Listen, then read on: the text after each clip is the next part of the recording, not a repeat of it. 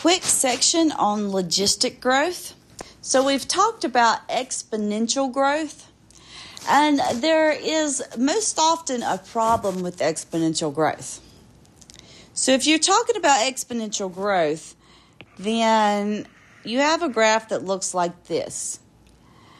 Whatever it is that you're studying is growing forever and ever and ever and ever. Okay, it's getting bigger. Now, think about that in practicality. Think about a room or a an island, okay? And this island has say 6 bunnies on it. Okay? The island's not very big, maybe a you know, a few square miles or so. And these bunnies are going to obviously going to start having more bunnies, right? Okay. and don't you love my example? Um, so as the bunnies start having more bunnies, it's going to start growing exponentially. Now there's a little bit of a problem though. Will it can will these bunnies keep populating this island and growing in number forever and ever and ever? No.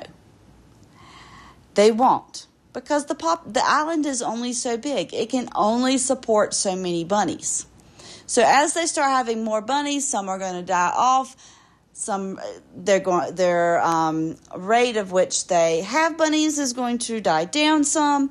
It's going to level off. So what happens is instead of going straight up, it's going up exponentially for a little bit and then it levels off.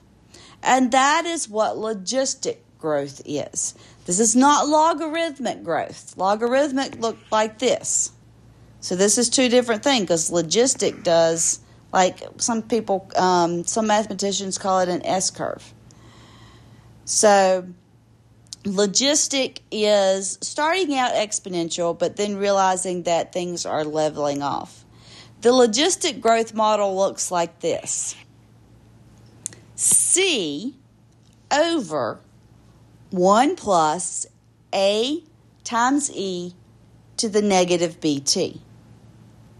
C is your carrying capacity. So if you've got your logistic growth here, the carrying capacity is the horizontal line where this purple function gets closer and closer to the carrying capacity but never hits it. Okay? So let's say that the island will support at most 5,000 bunnies. So you're going to get very, very close to 5,000 bunnies but never quite hit it. Then A, B, and C are constants depending on the problem. So let's look at our example.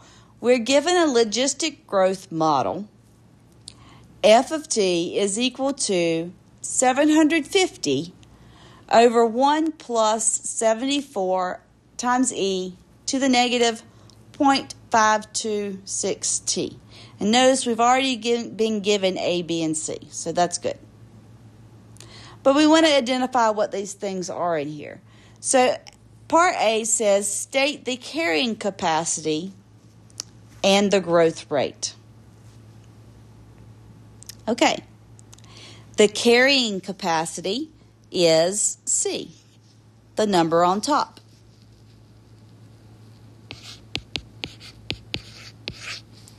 And in order to put that in to context, that would be 750 grams of yeast. And then, what is the growth rate? The growth rate is B.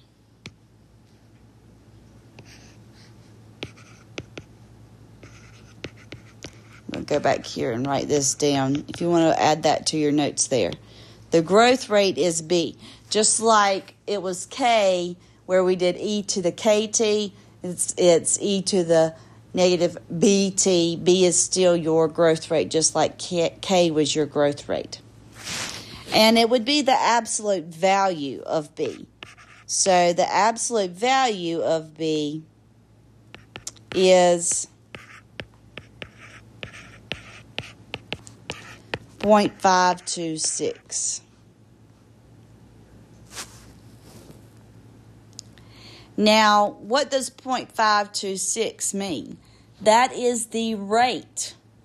And rates are usually measured in percents. So this means 52.6% growth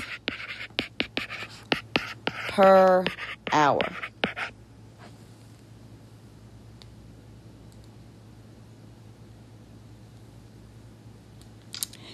Determine the initial population. So the initial population would be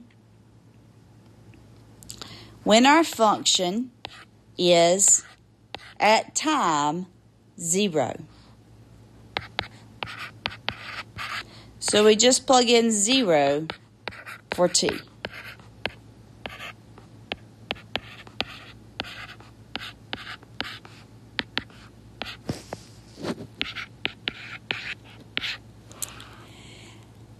Now, point negative 0.526 times 0 is 0. And e to the 0 is 1. And 1 times 74 is just 74. So what we end up with seven is with 750 divided by 75, or 10 grams of yeast.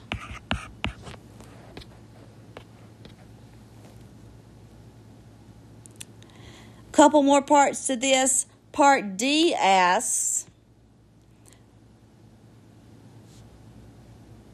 or C asks, what is the population after five hours?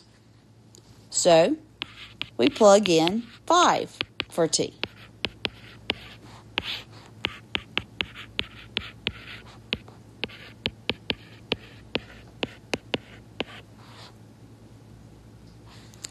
Put that in your calculator. You'll get 118 grams of yeast.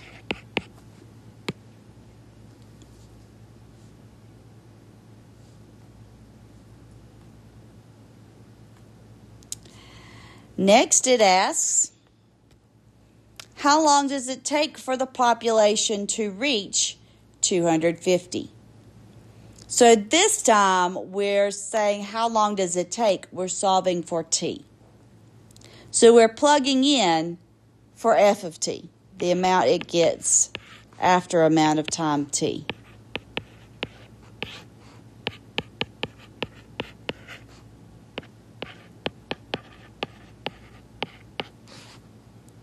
Okay? So the first step would be to get rid of this fraction.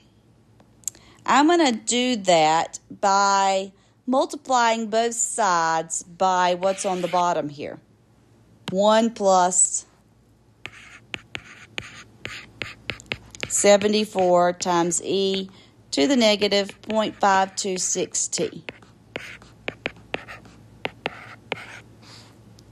Now we can divide both sides by 250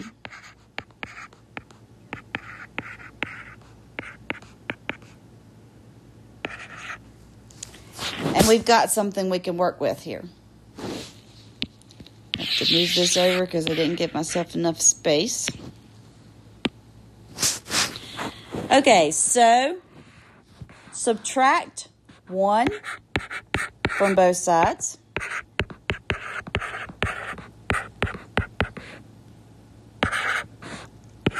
Divide both sides by 74.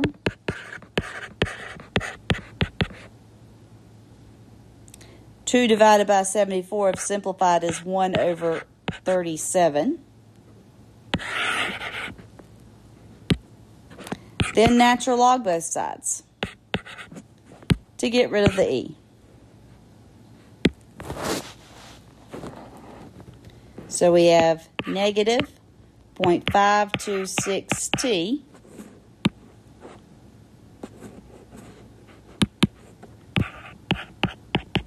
equals the natural log of 1 over 37.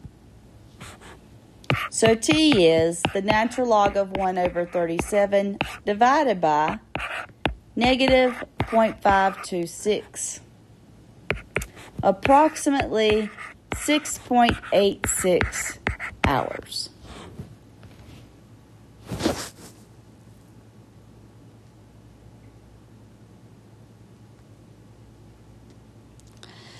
And then the last part asks use a graphing utility to determine how long it takes for the population to reach one half of the carrying capacity. So, depending on whether you're using a graphing calculator or Desmos, you would first start by graphing y sub 1 is equal to 750 divided by, and then put this in parentheses, 1 plus 74 times e to the, and then let's put this in parentheses too, negative 0.526t. And that'll be x sub 1.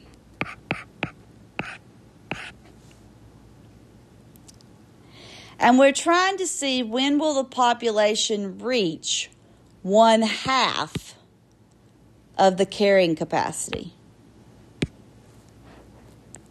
So in y sub 2, we want half of the carrying capacity. That's half of 750.